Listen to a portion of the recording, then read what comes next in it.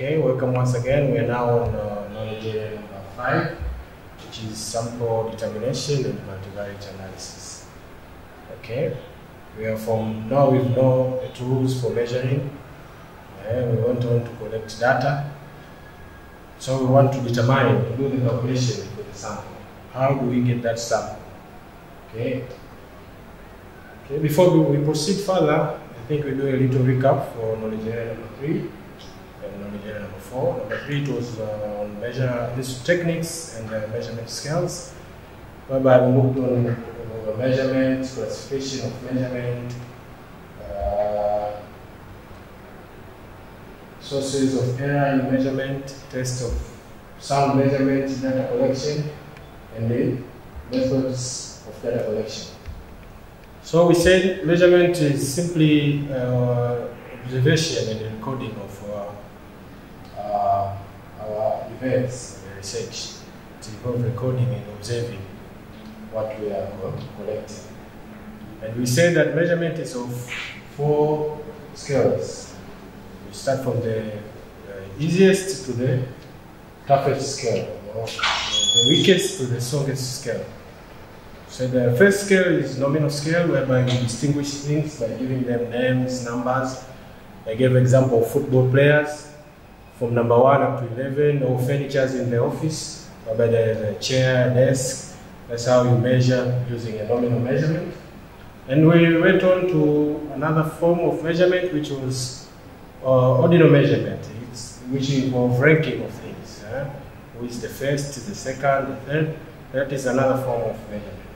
And uh, the third type or classification of measurement scale, it was an interval scale.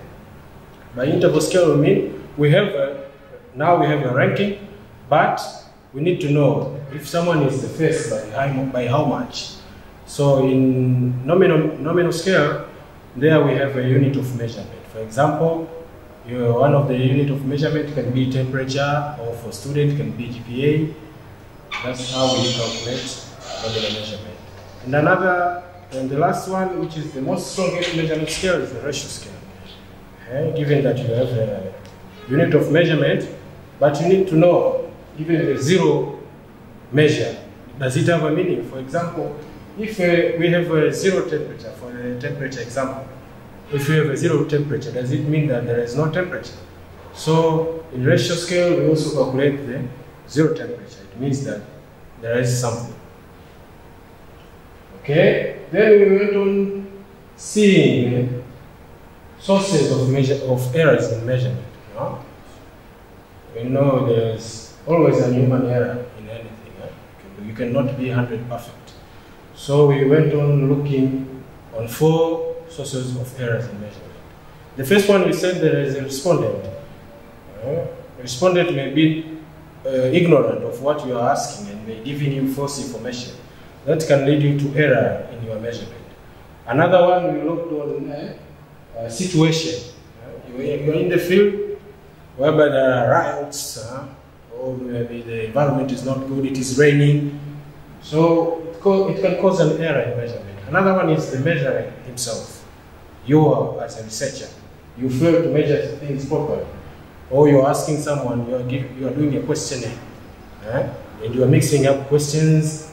Uh, you, that's an error. That can lead to an error. And the last one we said uh, uh, sources of error in measurement is instrument, the instrument that you are using. Maybe there's a defect. You are using a camera to take picture, then the battery low, something like that, can lead to error measurement. Or your questionnaire, you are using ambiguous questions, eh? uh, terms which are hard to your respondent. It can lead to, to error. Then we went on seeing, yeah, okay. Now we have measured. How can we say that we have measured what we really wanted to measure? Hmm? So we, we, are, we are going to do a test of sound measurement. In order to see what you have measured is really what you wanted to measure, you can do three tests. Test of validity, reliability, and practicability. Validity seems, simply means that you have measured what you wanted to measure. That you measure according to your objective, research objectives. As you can see, the word value. Is it value? Okay. Another one is reliability. Reliability means the precision of measurement. Uh, you have measured something. If someone uses the same tools that they've used to measure, is he or she going to get the same results? That's how we test sound measurement with uh, reliability. And practicability, it's a matter of uh, state of the economy, what the devices that you've used, uh, can they be applicable, and things like that. Then we went on to the other side of the topic, which was about data collection. We said that data collection is gathering of information uh, in a systematic way that, uh, that will be used to, in your research. Okay, and we went on seeing uh, four methods, four methods of data collection: uh, questionnaire, observation, focus group discussion, and in-depth interview. Said that questionnaire is writing your question in a piece of paper, can be close-ended uh, by selecting questions. Uh, you're giving someone a, uh, you're asking what is, what do you feel about something, and you say good, better or bad. That is close-ended question. And open-ended question are the questions which are very open. As I said, you can ask someone what are, what are, what are your opinion about the coming election in 2020. So, so that person feels that one is an open-ended question. And questionnaire can be self-administered. Uh, self-administered means you just prepare your, your questions and you give them to your respondent. He feels by himself, not you intervening the, the, the, the filling of the questionnaire. We went on to another method of data collection, which was uh, uh, observation. Yeah, we said this is a qualitative method of data collection, whereby it is of two types. Uh, direct uh, participatory observation and direct. Participatory, you become a member. Yeah? You become a, you become a part of the research. Yeah? So you become a part of the research without interfering in the research. With, you, for example, you want to intervene. The, I gave that example. You want to intervene to see if there is charge employment in the in the mines. So you go to the mines. You become one of the employee of the mines. Eh? Become one the lead. while you while you have your mission of seeing if really uh, they are employing the children there. So without them knowing. Another method of observation uh, is direct observation. You don't become part of that uh, respondent. I gave also example of uh, Maasai community on participatory observation. You cannot go and ask them uh, how is their culture. You need to become as part of them. that is how we conduct uh, participatory observation. Another method of data collection is uh, focus group discussion. Huh? This is a, a, another qualitative method of data collection whereby there is there may be two uh, interviewers or researchers and a group of respondents, eh? eight to twelve. Uh, one is uh, for for the case of interviewer. Uh, the first interviewer is the note taker, and the other one is a moderator. So it will be a moderator in the middle there, and there are no yes or no questions. You are doing an in-depth interview, and be very careful when choosing the group of people you want to, to do the focus group discussion. Right? If you want to, to get data for, for, for, for sexual harassment for uh, secondary school girls, you need to sit with only girls. They will give you more information. You don't have to sit with their parents. Eh? You sit with only girls. Okay? Then we went on seeing another method of data collection, which was in-depth interviews. And these are, these are very carefully planned interview, very structured one, and very comprehensive.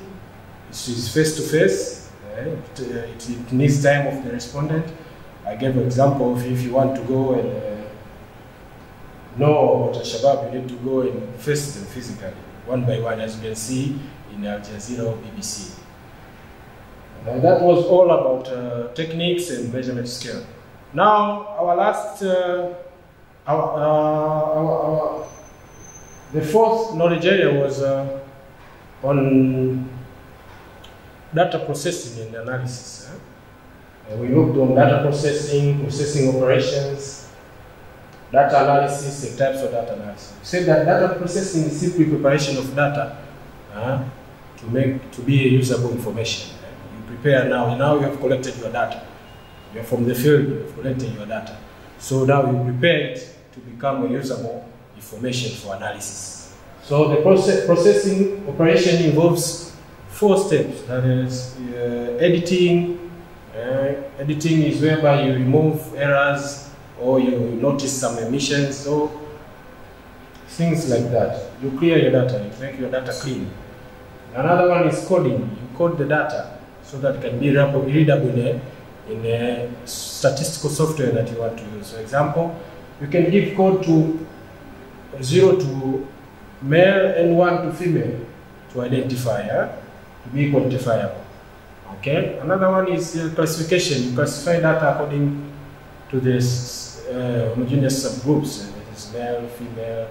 Of I guess the example of a, a college university to data to classes, to gender, to colleges, uh, something like that. Another one is tabulation. Tabulation is just a primary presentation of your data to see how data looks like. You can beat, you can present your data using a frequency distribution table. As you remember, we did a subcalculation on frequency distribution table, and a histogram or a pie chart or stem and leaf diagram.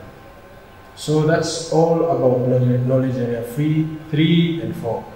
Now we move on to knowledge area five, which is sampling distribution. Uh, in sampling distribution, we have the following definition. What is a random sample?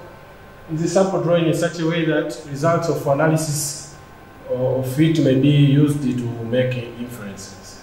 To make inference means to be to provide a true representation of the population. Eh? That's what it means by the inference. Eh? So you draw a sample that will make a true representation of the population. A parameter, a parameter is a descriptive measure of the population. Eh? What is the descriptive measure of the whole population? If you have a population of farmers, means the farmers is the parameter. If you want to look on the agriculture, deal with farmers. Those farmers are the parameter. But the statistic is a descriptive measure computed used to describe a sample, uh, describe a sample of data. It's called a statistic. So a descriptive measure for a sample, it is statistic. A descriptive measure of a population is a parameter. Okay, what is sample distribution? Distribution is, is a probability distribution of a statistic. Eh?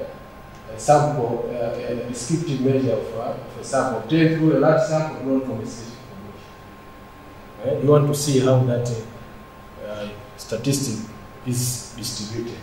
Standard error, what is the statistical accuracy of an estimate? Eh? In other words, is a standard deviation of sampling distribution. Okay. Uh, statistical inference, as I said before, make a conclusion. We use this inference that we can make a conclusion of the whole population.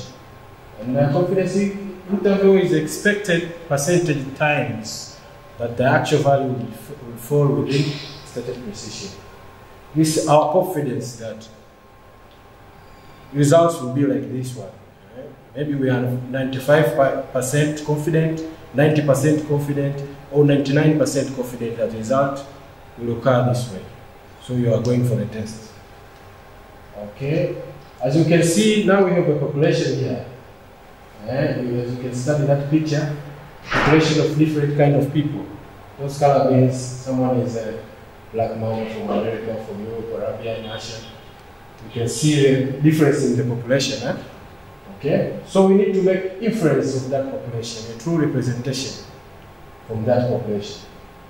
Okay. Now this is the result. Okay. We can go back. You see the you see the population and the inference drawn from that population.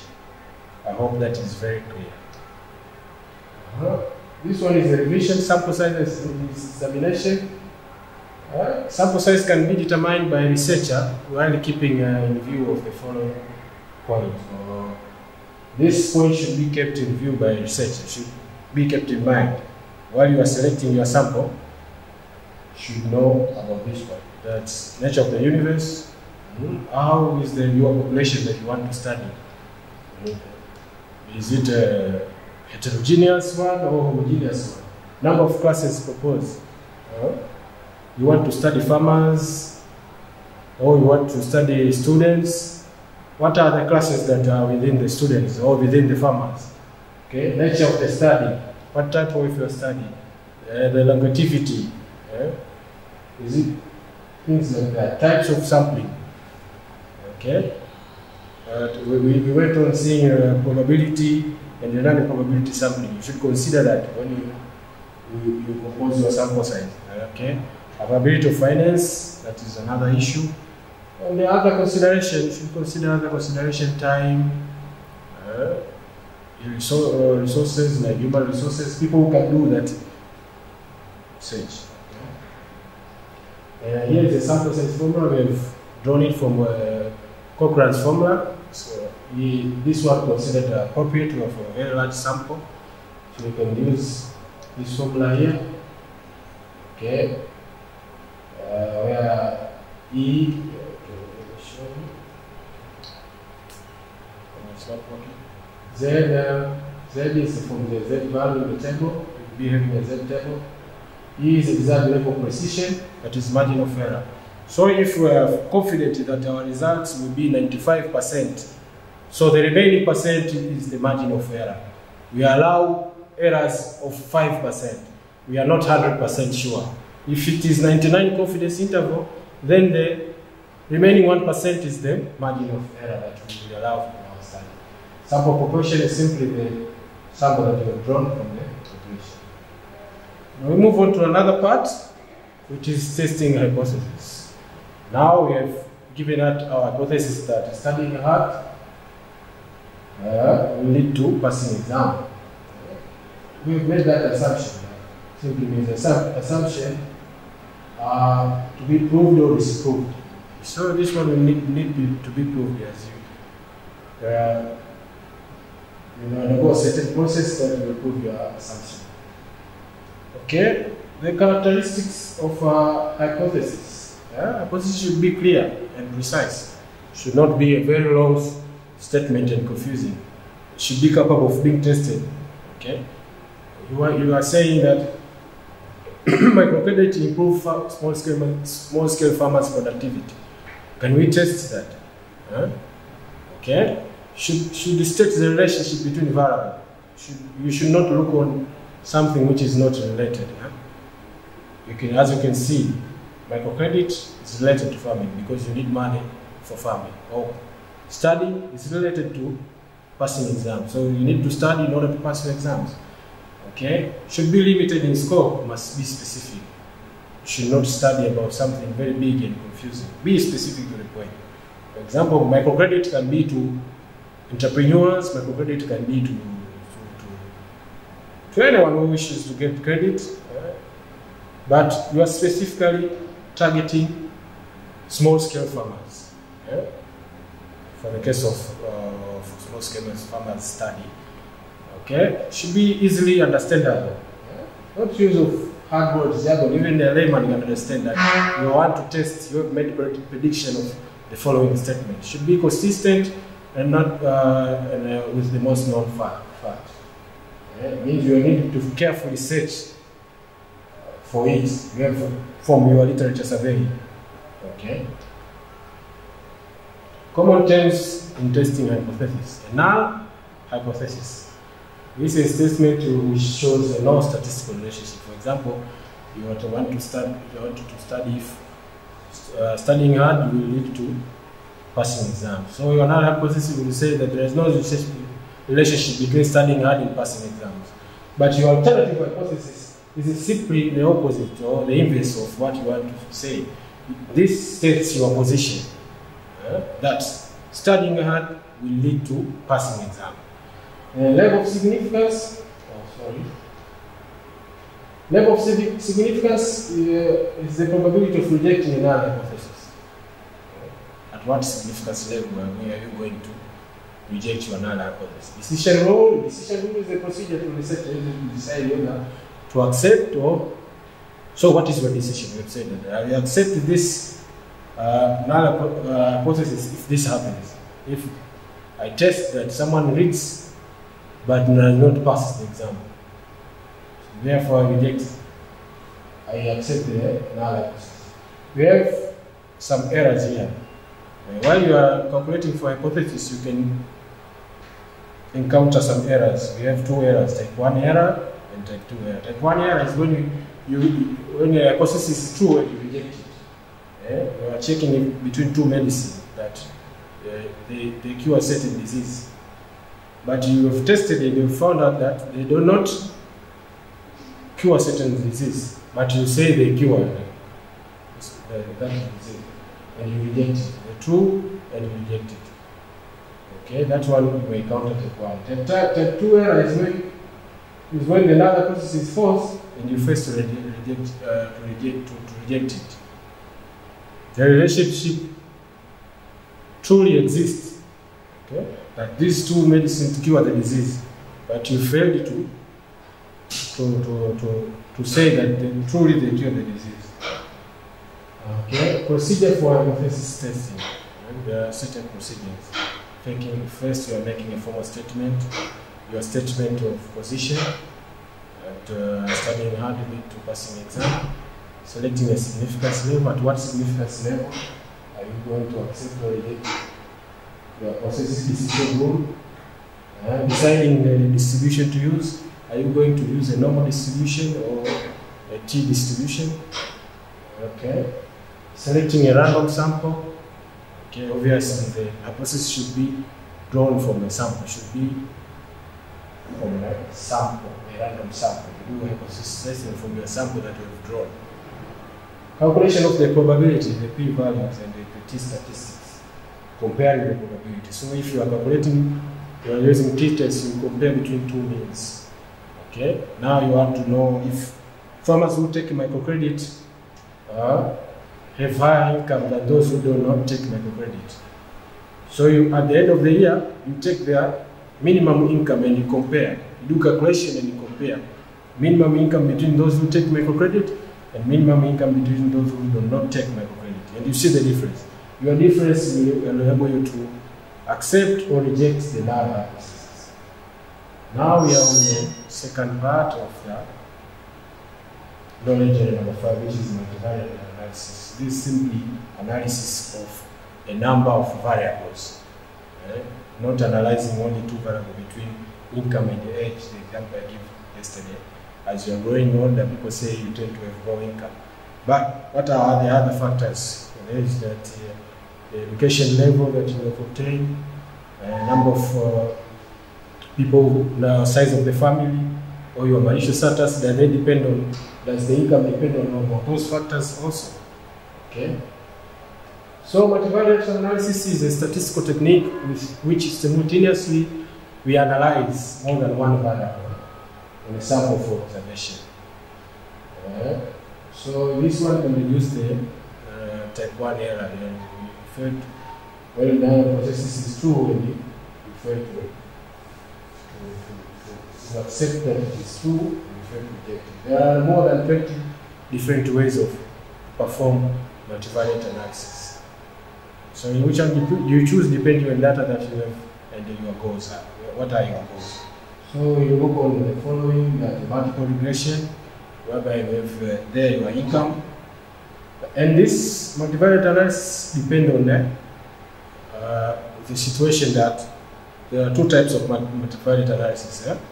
The one where there is a dependent variable and a number of independent variable. And the other one when there is a, uh, a number of variables that there is no dependency upon them. You just want to look how they relate, but they don't depend on each other. Okay, so this this is the first two multiple regression and multiple multiple regression and the multivariate analysis of variance. This one uh, is a dependence dependent variable and the other independent variable. But the, the other one, the number of variables which they don't depend on each other. So here is the multivariate regression analysis. As you can see, you simple relations between y and x, two variables, one independent, one dependent. While the multivariate we have y and the number of x's. Okay? Okay, y and number of x. y means the dependent variable with the number of independent variables. Okay, for the case of income, you can say income is a dependent, income depend on number of exes, age, level of education, size of the family. Okay, those are the things. Then we have multivariate analysis of variance. This is um, called the MANOVA. Uh, we have a number of, same as multiple regression, we have a number of, uh, of variables we want to, to check if their variances differ. Uh, suppose uh, we have a process that the new teaching style is better than the standard method of teaching math. So we may want to look uh, at the effect of teaching style, okay, which is the independent variable, and the average values uh, of several dependent such as student satisfaction, number of student absences, mass score. MANOVA procedure allows us to test uh, processes for three dependent variables at once. Mhm. These tests, tests uh, can be easily done, done using statistical software, SPSS, Stata, R, or Python. Okay. We have factor analysis. This is simply uh, useful tool investigating relationship for complex concepts such as socioeconomic, uh, dietary, or psychological scales. It allows a researcher to investigate concepts uh, that are not usually measured directly by collapsing large number of variables into few underlying factors. So here you see a number of variables, verbal reasoning, vocabulary, numerical reasoning, arithmetic, but you group them into common factors that is verbal reasoning and vocabulary that is simply verbal ability. Uh, numerical reasoning and arithmetic skills that is, that is simply mathematics. That's how we do factor analysis. And the cluster analysis is just grouping the same variable into grouping variables into clusters. Those variables which has the same homogeneous characteristics, you group them together. You can see here, as you can see, we have colors here. Those blue variables, uh, red and yellow variables. And uh, last one here, we have a reading assignment. There are some things that you need to know, you need to dig deep. As you can see, I've avoided a lot of mathematics so that you can easily understand. But for better understanding of uh, and practicability, you need to know the following. uh, to really explain and understand what is of analysis of variance, what is t-test, uh, paired t-test, uh, uh, simple t-test, okay? P-value, what are the p-value? I said something about when you are testing a process, you are, looking at your, the, the output of the probability. Now, what is the p-value? What is the chi-square test? It is a test also which is used to test hypothesis. And what is multipolarity?